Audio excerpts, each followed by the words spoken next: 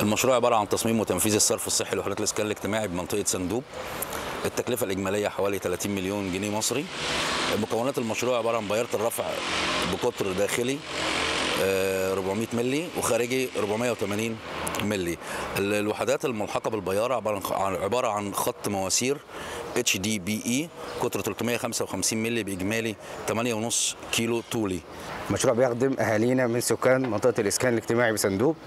مشروع مكون من محطة رفع بقدرة 5000 متر مكعب في اليوم خط طرد بطول 8 كيلو ونص يصب على محطة معالجة صرف صحي محطة معالجة مياه صرف صحي تلبانة. تم استخدام الأيدي العاملة من اهالي المنطقة في أعمال التنفيذ